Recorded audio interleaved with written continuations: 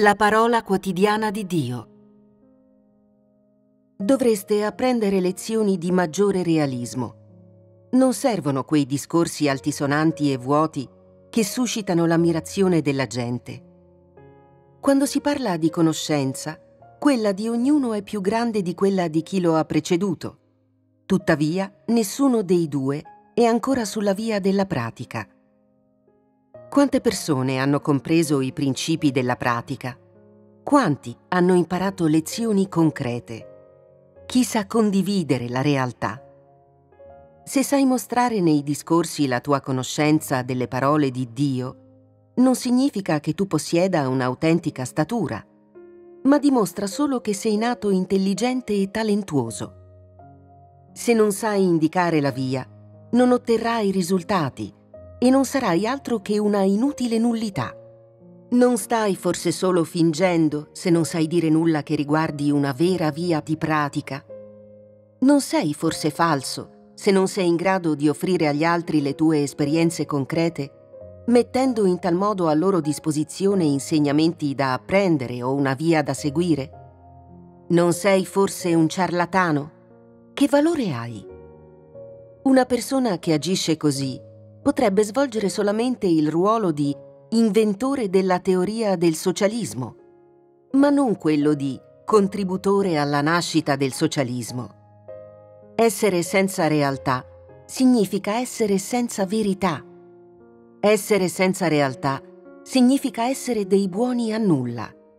Essere senza realtà significa essere un morto che cammina. Essere senza realtà è come essere un pensatore marxista-leninista ma senza valori di riferimento. Esorto ciascuno di voi a tacere sulla teoria e a incominciare a parlare di qualcosa di reale, genuino e sostanziale, a studiare un po' di arte moderna, a dire qualcosa di realistico, a contribuire con qualcosa di reale e ad avere un po' di spirito di dedizione. Fai i conti con la realtà quando parli e non indulgere in discorsi irrealistici ed esagerati solo per accontentare le persone o per catturare la loro attenzione e farti notare. Che valore ha una cosa simile? Che senso ha indurre gli altri a trattarti con calore? Sii un po' artistico nel tuo parlare, un po' più giusto nella tua condotta, un po' più ragionevole nel modo in cui gestisci le cose un po' più pratico in ciò che dici. Pensa a portare benefici alla casa di Dio con ogni tua azione. Ascolta la tua coscienza quando sei preso dall'emozione. Non ripagare la gentilezza con l'odio, né mostrarti ingrato dinanzi a essa e non essere ipocrita se non vuoi diventare un cattivo esempio. Quando ti nutri delle parole di Dio, rapportale più strettamente alla realtà e durante la condivisione parla maggiormente di cose realistiche.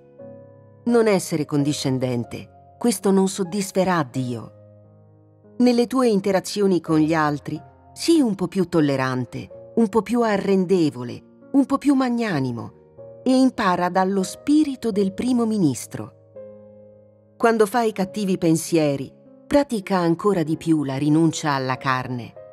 Quando svolgi il tuo lavoro, parla maggiormente di percorsi realistici e non assumere toni troppo elevati, altrimenti le tue parole non saranno alla portata della gente.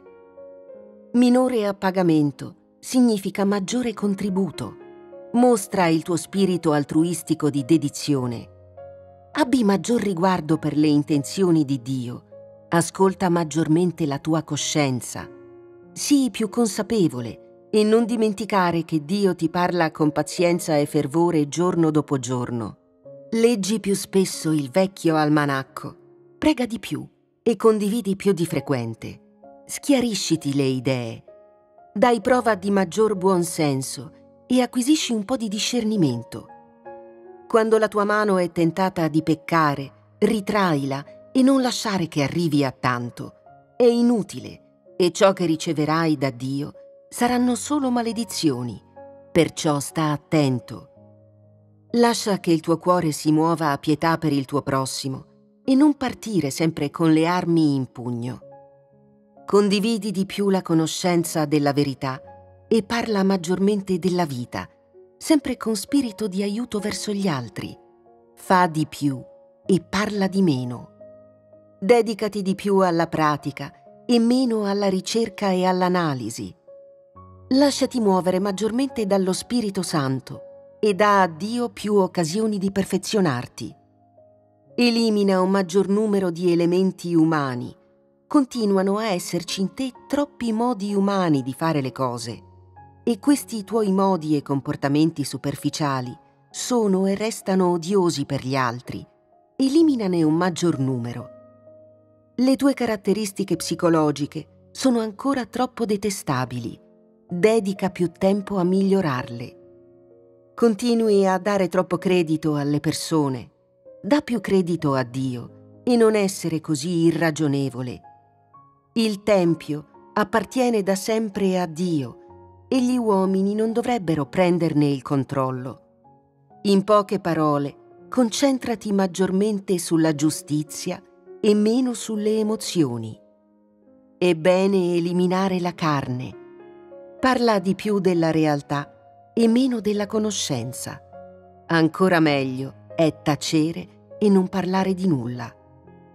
Parla maggiormente della via di pratica e fai meno sfoggio inutile. È meglio iniziare a praticare fin da ora.